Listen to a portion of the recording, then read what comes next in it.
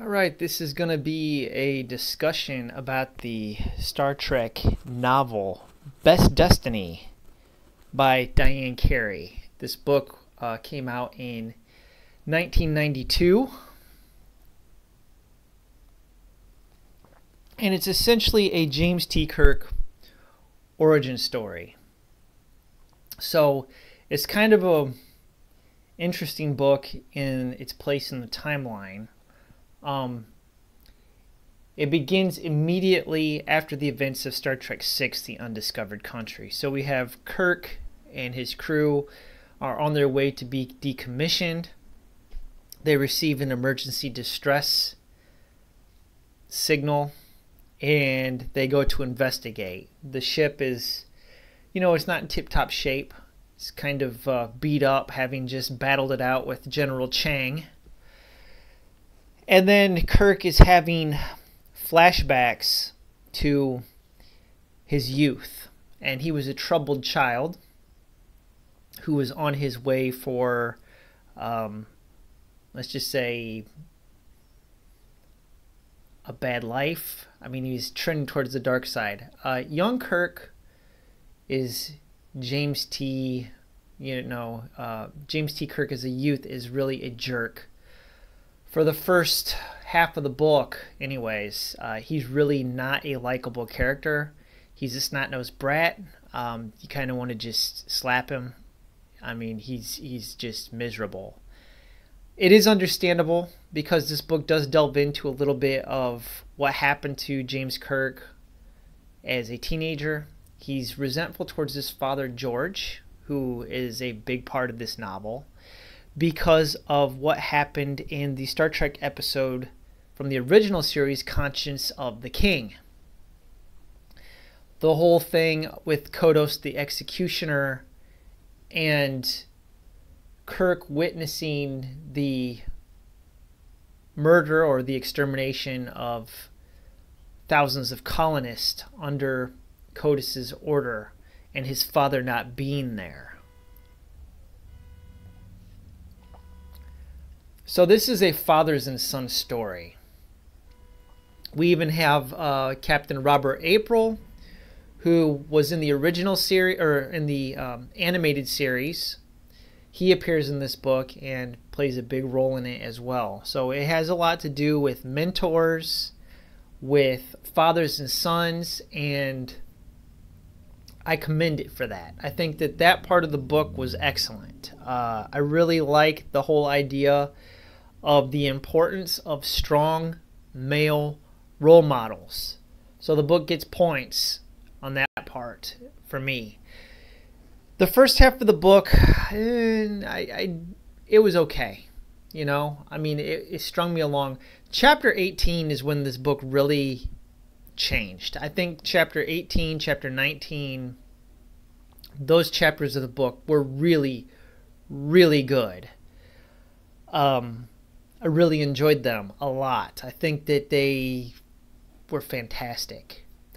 I think, uh, unfortunately, towards the end of the book because it's it's flashing between the past and the present, you know, is kind of where I just feel like the book didn't it didn't stick the landing.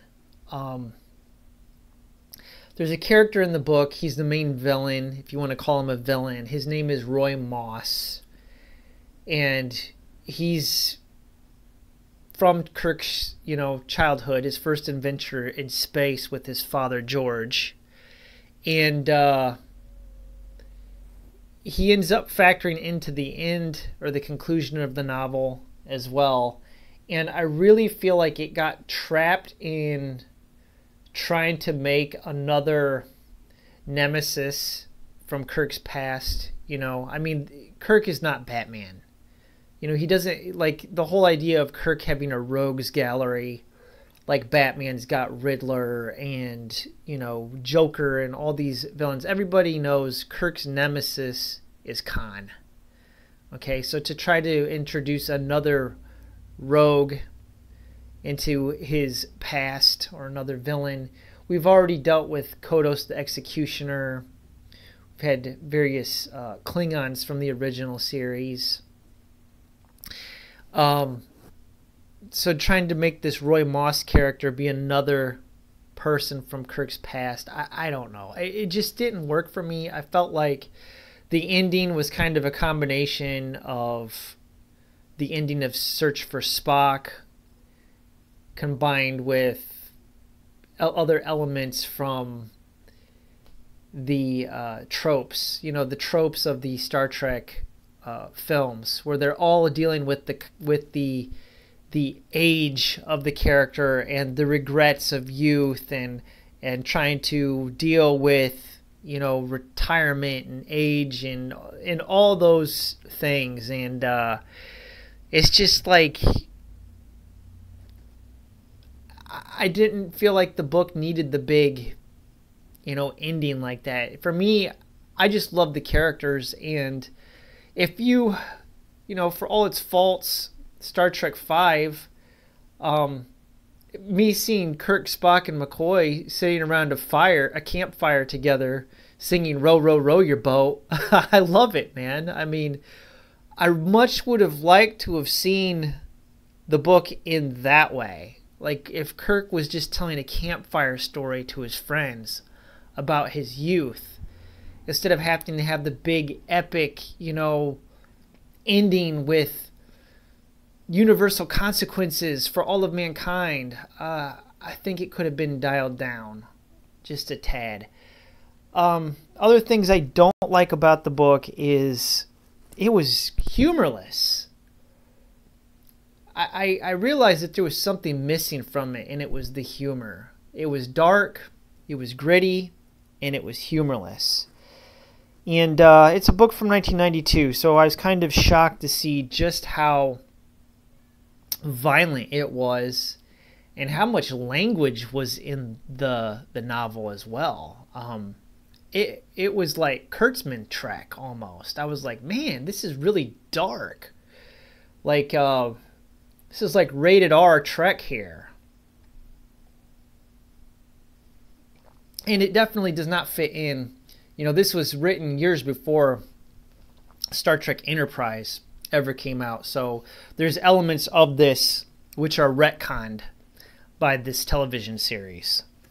For instance, uh, Robert April being the founder of the Starship program, and um, also George Kirk naming the Starship Enterprise the Enterprise. Uh, those are totally inconsistent with, you know, Enterprise, which I do like Enterprise. I'm one of the few people that likes Enterprise. Okay? I gave it a chance. I think it's a good show. Is it dated?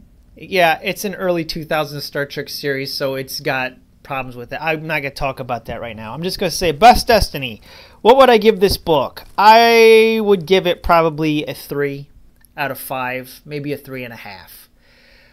It's got really high highs you know, that are just like, man, this is like peak Star Trek, especially like chapter 18. That chapter was fantastic. I just wish that the rest of the book would have lived up to that. Uh, I don't feel like the book sticks the landing. I think it kind of falls apart in the last 60 pages. But, uh, you know, I, overall, I enjoyed it. Would I recommend reading it? Yeah, I think this is a pretty good Star Trek novel. Um, but uh, I wouldn't expect, you know, of the three Star Trek books I reviewed so far, uh, I think this one is the least. I would definitely recommend reading Imzadi or uh, Federation over this book. But um, I don't regret re- reading it. I had a good time. It was enjoyable for me. So if you're a Star Trek fan, you like Star Trek, especially classic Star Trek, you know, Kirk, Spock, McCoy, this is a good one to check out. Anyways, have a wonderful day. Thank you for watching. Live long and prosper.